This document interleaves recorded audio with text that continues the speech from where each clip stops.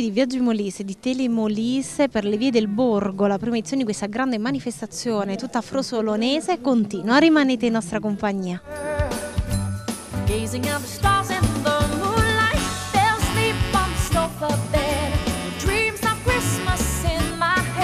Antonella, una serata come questa dove Frosolone offre piatti tipici della tradizione, artigianato, locale, ma anche tanto altro, cosa ne pensi? Beh sì, c'è un po' di tutto e mm, comprende, possiamo assaggiare tante cose del paese, ci stiamo divertendo, c'è parecchio da vedere e da assaggiare. Ecco, dal tartufo alle carni, alla pasta fatta in casa con, non so, i fagioli, i cavatelli col maiale eh, rossi, ehm, rispecchia secondo te l'identità culturale, eh, culinaria in questo caso di Frosolone? Beh sì, sì, sì, sì, sicuramente anche perché parte da, dalle origini, quindi chi organizza, chi ha organizzato sa insomma, quello che c'era del posto c'è un'unione un di queste cose, sta uscendo una bella serata infatti. Cosa ne pensi in ultimo di questo centro storico che rivive in questo modo illuminatissimo e pieno di gente? Bello, bello, è la prima volta che lo vediamo così, è molto bellissimo con queste luci. Amici di Viaggi Molise e di Telemolise, mi trovo in compagnia di eh, due dei tanti membri dell'associazione Pro Frosolone, Luigi Fiani e Saverio Paolucci. Voi con la vostra associazione avete promosso questo evento e realizzato, avete curato nel dettaglio tutto proprio per promuovere Frosolone nei suoi aspetti più svariati, dalla, dall'aspetto culinario a quello culturale, paesaggistico e artigianale. Sì, veramente ci siamo trovati con Saverio e con altri, altri amici nostri, abbiamo creato questo comitato, abbiamo avuto una riunione col sindaco che ha sposato la causa, diciamo che veramente è stato disponibilissimo. E in tutto questo siamo un gruppo di persone che ci siamo messi insieme creando questo comitato Pro Frosolone insieme a altre associazioni, comunque anche la Prologo e tanti altri. E niente, c'è nata questa idea di, di, promuovere il borgo, il borgo perché Frosolone merita, abbiamo un bellissimo borgo e nel borgo abbiamo, abbiamo coinvolto tante attività di Frosolone, anche qualcuna che è venuta da fuori, per far conoscere Frosolone, per far conoscere il borgo perché è veramente bello. Ci siamo impegnati da circa due o tre mesi, stiamo lavorando, ma lavorando davvero per avere un bel risultato e stasera possiamo dire che siamo, abbiamo avuto una grandissima soddisfazione, ma veramente tanta gente, come prima edizione siamo contenti, pensiamo di proseguirla ancora e ce la metteremo tutte per fare meglio. Forse qualche errore l'abbiamo pure fatto, però siamo, abbiamo fatto il possibile per non sbagliare, per, per dare il massimo alla gente che è venuta, siamo soddisfatti di tutta questa gente, ma veramente tanta tanta circa 50 gli stand che si dividono tra l'enogastronomia, l'artigianato e, la, eh, la cultura, insomma. Eh, bagno di folla, grandi numeri, siete soddisfatti come associazione organizzatrice dell'evento? Sì, siamo veramente soddisfatti, noi ci aspettavamo perché abbiamo avuto una piccola esperienza quest'estate promuovendo un po' il borgo e mo il periodo natalizio adesso abbiamo insistito un po' ancora di più coinvolgendo quasi tutte le attività. E, de e, devo dire che Frosolone ha risposto, ringraziamo tutti gli sponsor che ci hanno permesso di fare questo, ringraziamo veramente tutta la gente di Frosolone che si sono attivati tutti, anche nonostante le, le casalinghe, tu, tutti, dai, dai, più piccoli ai più grandi ci hanno dato una mano per, per, fare una buona riuscita di questa manifestazione, siamo soddisfatti, veramente bene. Il comune di Frosolone come ha risposto uh, all'idea di un evento del genere? Come le dicevo prima, il Comune ha sposato la causa e in maggior parte del modo il Sindaco, che si è attivato in tutto quello che gli abbiamo chiesto e inoltre cioè, come amministrazione comunale ci hanno dato un contributo di 3.500 euro e più 1.500 proprio personalmente della sua indennità.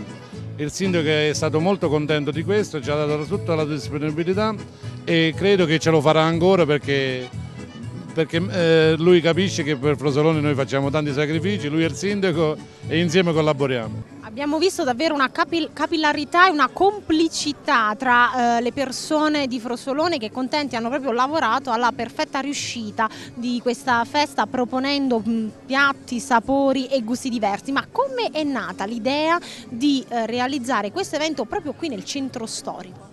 Noi l'abbiamo promosso perché Frosolone fa parte della bandiera arancione, è uno dei borghi più belli d'Italia. E giustamente ci ritenevamo, eh, riteniamo opportuno di promuoverlo, di farlo conoscere. E come vediamo eh, ci, ci, stiamo riuscendo perché sta tanta gente che è venuta da fuori, si, oltre a, a, degustare i nostri prodotti che ognuno di noi ha fatto la sua specialità, si sono complimentati del nostro borgo. E veramente ne vale la pena visitarlo, li invitiamo anche domani sera e li aspettiamo calorosamente con tanti prodotti e, con l'ospitalità del Frosolonese.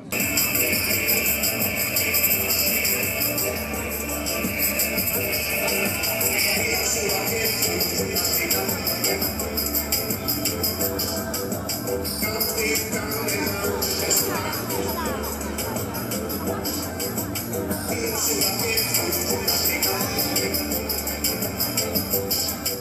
con Giovanni ed Ada, Giovanni di Romada, di Frosolone, insomma una coppia che eh, spesso torna qui. No, noi adesso no. viviamo a Frosolone, sono otto anni. Però avete trascorso, sì. mi sa, il resto della vita sì. proprio nella capitale. Sì. Eh, ci hanno aperto le porte di casa loro per mostrarci davvero un tesoro nascosto, direi.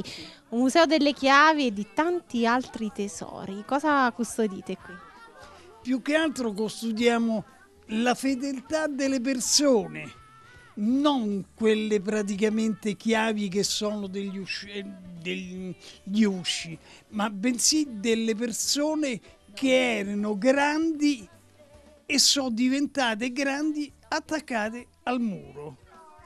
Adesso qui praticamente è un museo personale perché tutta questa roba si prende al mercatino, si compra e piano piano si fanno. Sono una bellezza di 40 anni che io metto da parte determinate cose, di cui una benevolenza di Garibaldi e la storia di Garibaldi su giornale, di cui ci sono anche mio suocero che ha fatto l'ultima guerra, poverello, e ci sono dei piatti molto bellissimi che sono dell'Ottocento. quelli erano di mio suocero.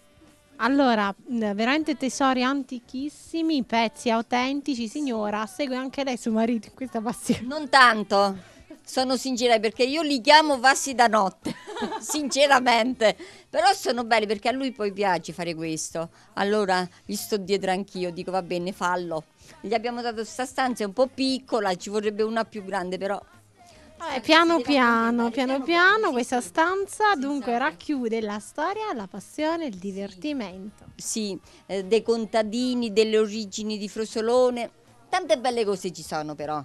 Sì. Allora, è venuta tanta gente a visitarle e è rimasta soddisfatta. Io ho di queste cose qui rare, di cui qui c'è addirittura lo stemma di Frosolone su questo ferro da stiro e non è che è una cosa comune, è una cosa che incomincia a essere rara, come praticamente qui c'è scritto anche cose rare perché appositamente ci sono delle cose che il, sia la gente e che il comune soprattutto butterebbe. Per quale motivo? Perché questo qui è una tazza non comune, ma bensì è una tazza per chi è che ha i baffi, per prendere il tempo.